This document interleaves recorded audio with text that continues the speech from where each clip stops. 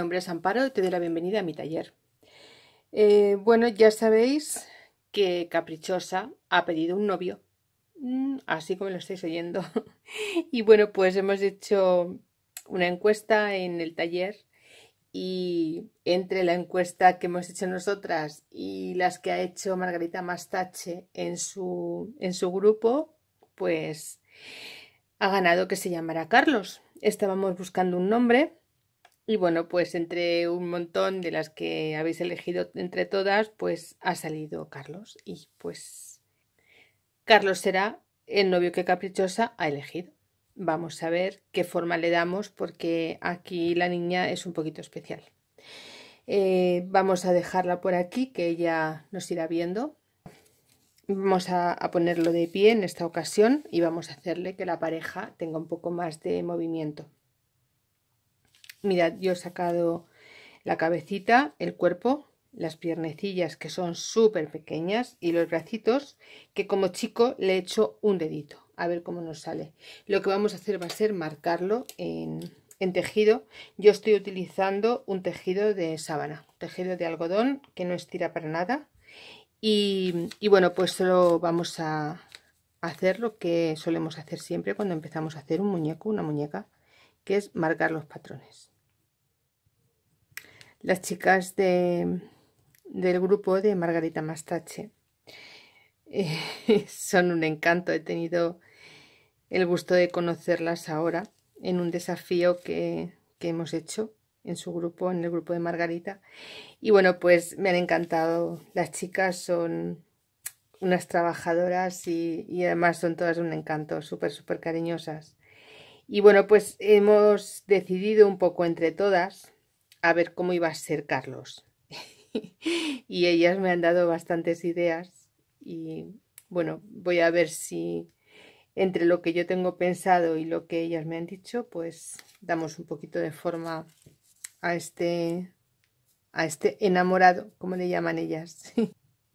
y la verdad es que ha sido muy divertido contar con su apoyo y, y sobre todo que, que cada una decíamos una idea totalmente diferente de la otra, pero no sé, al final pues bueno, nos hemos puesto un poco de acuerdo y, vamos a ver lo que sacamos.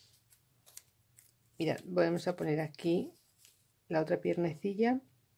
Bien, pues ahora ya le voy a poner unos alfilerillos y ya me lo llevaría a la máquina. Eh, dejamos abierto la parte del cuello para luego rellenarla por arriba vamos a dejar abierta esta parte de aquí abajo. Esto no se cose, cosemos desde aquí, damos la vuelta hasta aquí, saltamos y seguimos hasta aquí y rematamos. Vamos a pasarnos como medio centímetro, un poco más hacia adelante. ¿Vale? Coseremos aquí. La cabeza la, la cosemos completa, en esta hacemos igual. Salimos medio centímetro y empezamos a coser desde aquí, damos la vuelta hasta aquí y volvemos a coser hasta terminar aquí. Y el brazo hacemos igual. Empezamos a coser, damos la vuelta y terminamos aquí. Vamos a la máquina. Bien, pues mirad, yo ya he ido adelantando. Tengo los bracitos que al final le quité el dedito porque es tan pequeño que no quedaba nada bien, no me gustaba. Entonces tengo los bracitos ya rellenos, el cuerpecillo también está relleno y la cabeza también. Entonces lo que vamos a hacer va a ser explicaros cómo he hecho las piernecillas. Mirad que son sumamente pequeñas, muy muy chiquititas. Eh, pasábamos el, el pespunte justo por donde iba la piernecilla, dejábamos un trocito sin coser y también dejábamos abierta la parte de abajo. Ahora lo que hacemos es unir las dos costuras y vamos a hacerlas coincidir. Yo no las voy a abrir, yo llevo una hacia un lado y otra hacia otro. Eh, controlo bien que me coincida eh, un pespunte con otro de arriba y lo que hago es, una vez que lo tengo situado de esta forma, me cojo el bolígrafo. Aquí tenemos una línea recta marcada. Digamos que esto es por donde iba. Eh, lo que teníamos marcado de nuestro patrón.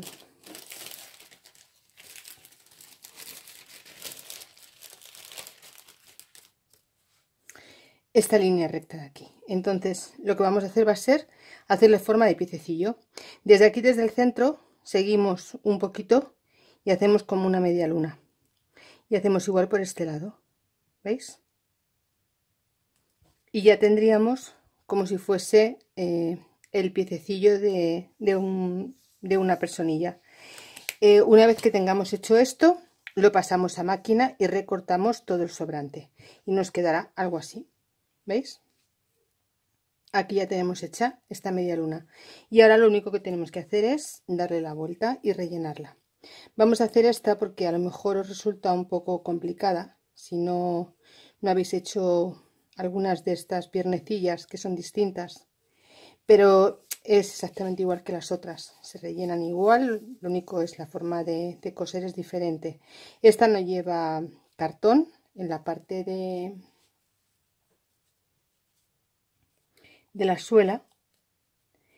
Y lo que tendremos que hacer cuando hagamos este tipo de piernecilla es hacer un zapatito y ponerle un buen cartón que sea muy rígido para que se nos mantenga de pie.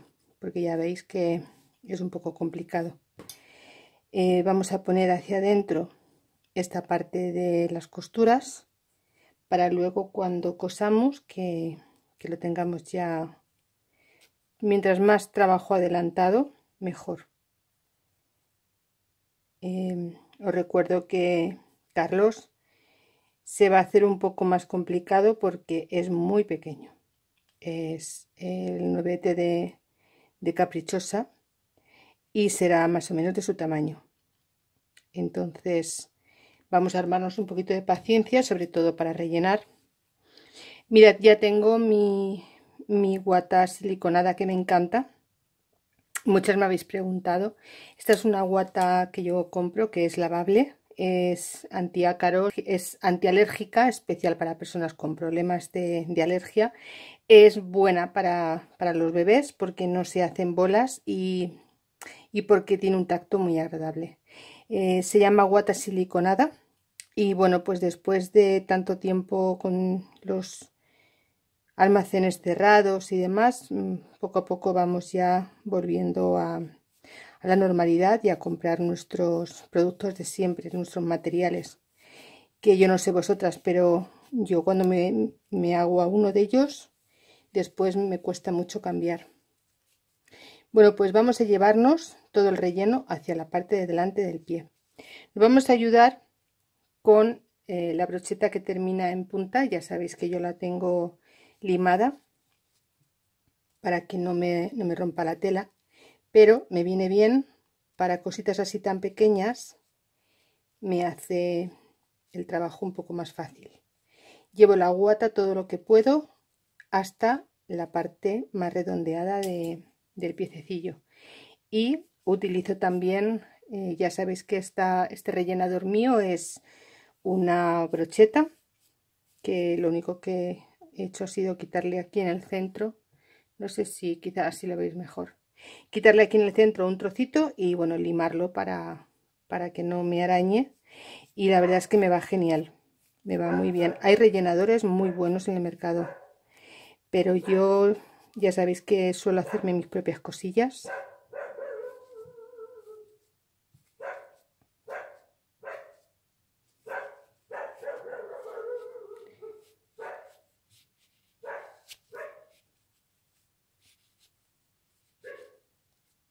La pierna debe ir muy muy bien rellena porque es la que va a mantener el peso de, de Carlos en esta ocasión y de las muñecas en particular.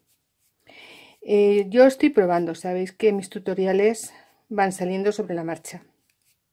Os lo digo como idea porque no sé al final lo que, lo que voy a tener que hacer. En un principio yo lo estoy rellenando de guata. Voy a probar una vez que lo tenga calzado y demás. Pero cabe la posibilidad de que una vez que lo tenga prácticamente armado, tengamos que volver atrás en el vídeo y ponerle un poquito de, arena.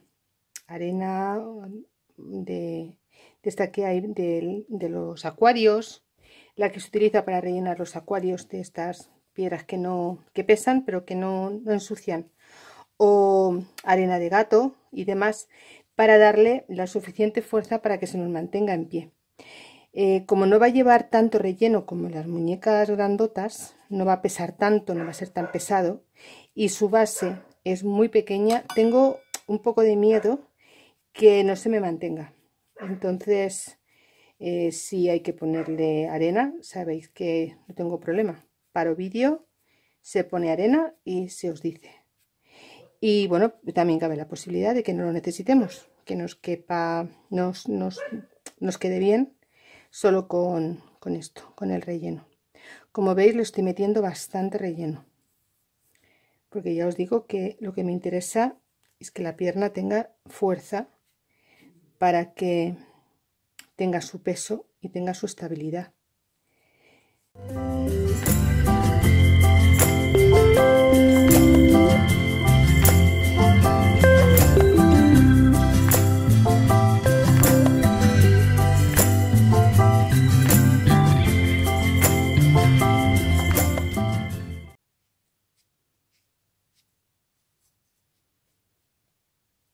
Bien, pues mirad, os voy a dar un truqui para no, hacer nudo en, cuando cosemos cositas así que se nos ven las costuras para hacerlo un poquito más más lucido, más rematado. Mirad, os voy a dar mi truqui. Eh, yo cojo una hebra de hilo y uno los dos cabos exteriores. ¿Veis? Cojo los dos cabos, los uno y dejo la mitad en este sitio doble. Ahora me cojo la aguja y paso los dos cabos por el ojo. Y dejo abajo la parte que está doble, lo que es el lazo, ¿vale?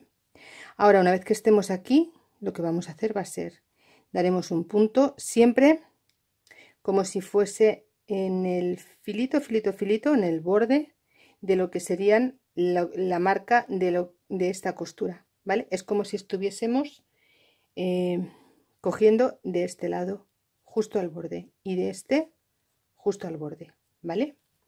Vamos a meter la aguja y la vamos a pasar por el lazo. Y de esta forma hacemos un nudo, pero no nos queda nudo.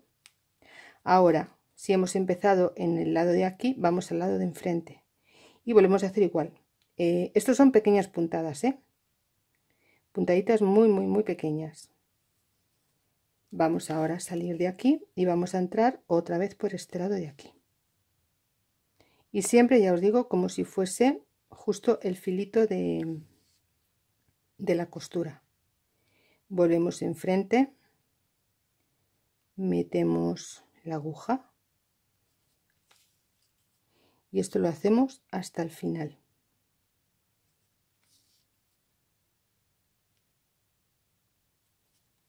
Y ahora una vez que estemos aquí arriba tiramos y se nos queda completamente cerrado veis venimos aquí a este lado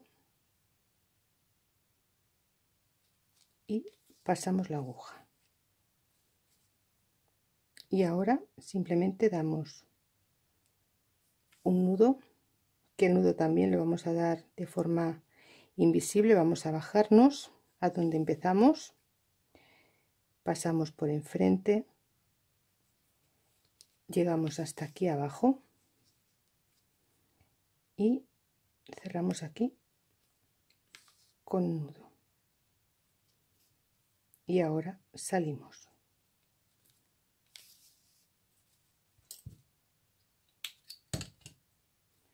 ¿Veis? De esta forma nos queda la piernecilla más, no sé, un poco más, más arregladilla porque no se nota tanto la puntada, ¿veis? Bueno, pues yo voy a rellenar ahora la otra, la otra piernecilla y lo que vamos a hacer, mira, con hilo de, muñequería. Yo utilizo este, lo compré en Il Trento, me gustó muchísimo, es muy fino de, de grosor, pero es súper, súper resistente. Sé que muchas de vosotras habéis probado y os ha gustado mucho. Y estoy contenta de compartir con vosotras las, las cosillas que yo voy encontrando y, y que todas podamos hacerlo de forma chula. nuestros trabajos. Entonces vamos a salir por aquí, por este ladito de atrás.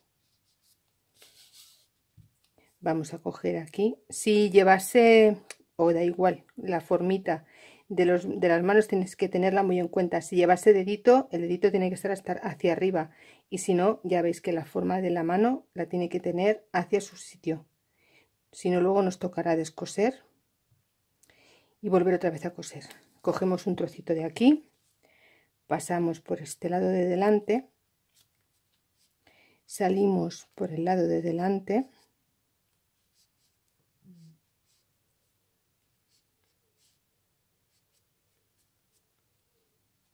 ¿Veis? Y ahora vamos a coger el otro bracito y vamos a cogerlo al revés.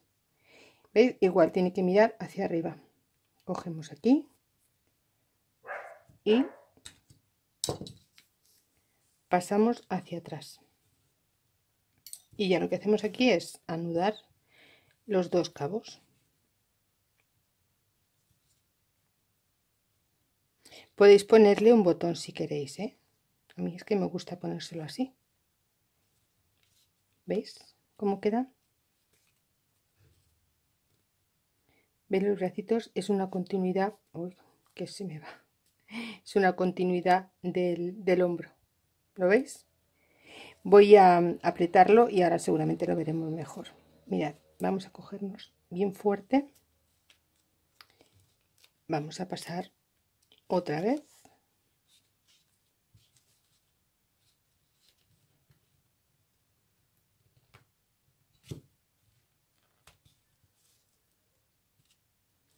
Volvemos a apretar. Y verificamos que estén bien en su sitio. Mirad lo veis veis como así quedan los hombritos en su sitio y queda el cuerpo limpio Vamos ahora a darle un par de vueltas. Voy a utilizar esta parte que es más pequeña de hilo. Voy a darle un par de vueltas o tres y vuelvo a anudar.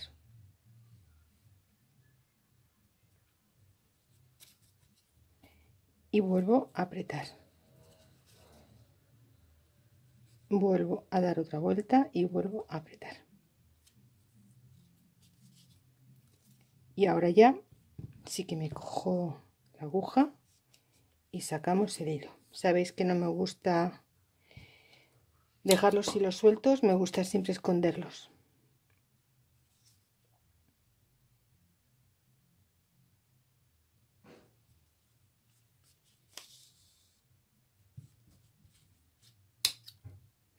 Bien, pues ya tendríamos el cuerpecillo.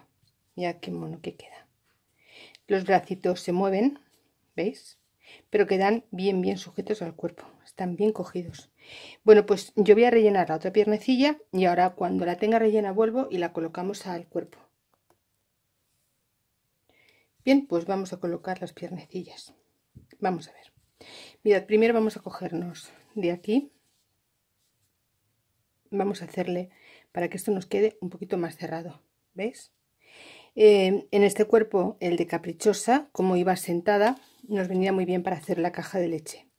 Yo estoy intentando no cambiar mucho los patrones para que no tengamos que estar siempre haciendo patrones nuevos y rellenando y demás, pero como veis en algunos momentos no nos queda más remedio que, que hacer los patrones nuevos, si no, no nos, nos van a, coincidir. Entonces, como eh, ella iba sentada y ahora Carlos va a ir de pie, pues vamos a hacerle aquí un poquito de forma. Entramos por, por delante, salimos por delante, entramos por detrás, salimos por detrás, ¿veis? Esto es lo que yo quiero hacer, hacerle un poquito más de forma, para que nos junten más las piernecillas. Entramos por detrás y salimos por detrás. Entramos por delante y salimos por delante. y ahora vamos a ir tirando para ir juntando veis se va quedando ya más juntito. Vamos a hacerle otra pasada. Y ahora cuando salgamos por este lado de aquí vamos a cogernos tirando desde aquí pasamos por la costura salimos por esta otra costura y volvemos a entrar. Y salimos otra vez a medida que vamos pasando hilos se nos va complicando un poco más porque va habiendo más resistencia. Vamos a ponerlo aquí justo por la costurilla. Y vamos otra vez a meter. Y vamos a salir.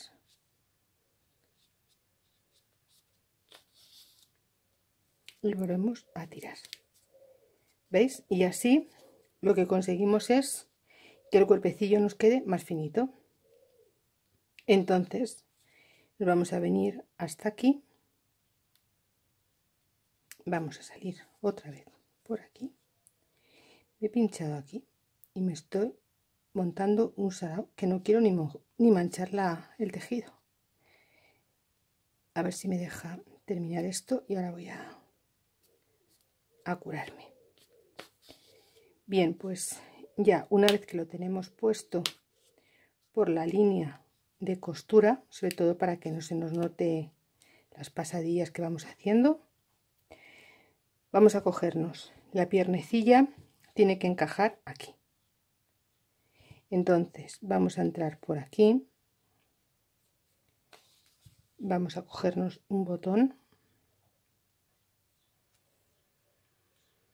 entramos salimos y volvemos otra vez a la piernecilla. Entramos por aquí. Más o menos que esté recto.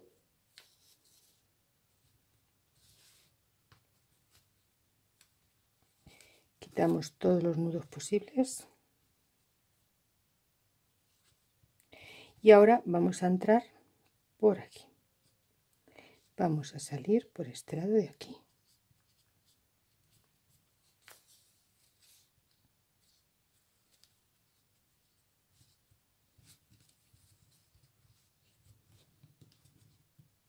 y ahora vamos a cogernos esta piernecilla.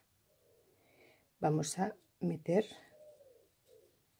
intentando que nos quede lo más recto posible vamos a cogernos el botón entramos y salimos volvemos a meter por la piernecilla y ya vamos otra vez hacia la otra parte y aquí vamos a intentar coger el botón para así asegurarnos que las piernas nos quedan a la misma altura. ¿Veis?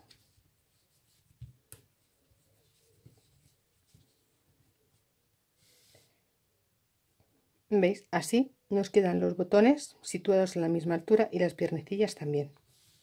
De forma que cuando la pongamos de pie nos queda en su sitio. No nos queda una piernecilla más alta que otra. Vamos a tirar del hilo con fuerza. Ya ves la tensión que hago en el hilo y no se rompe. Es muy bueno este hilo. Entramos otra vez y vamos a buscar de nuevo el otro botón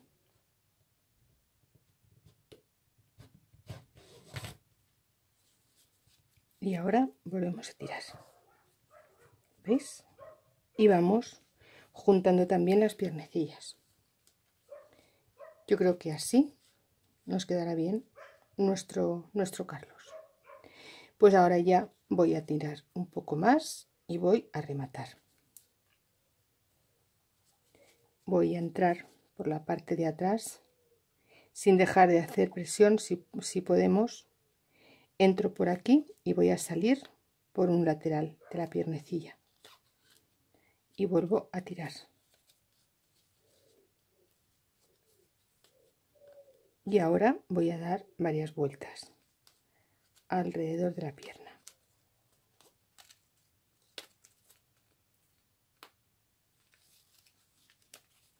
Y ahora voy a hacer aquí un par de nudos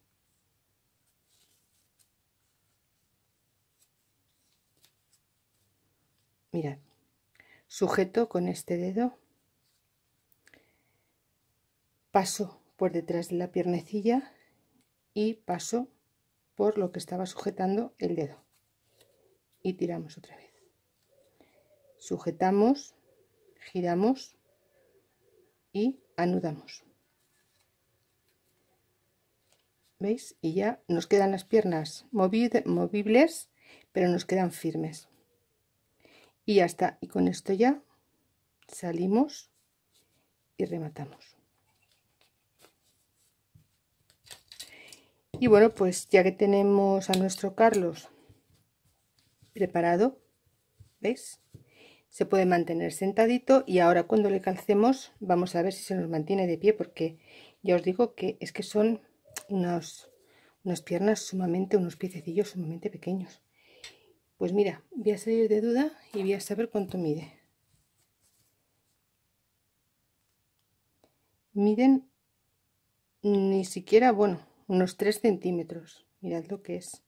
Vamos a intentar mantener erguido este muñequito con solo 3 centímetros de suela. Esto es un reto. Vamos a ver si nos sale. Y ya vamos a prepararle la ropita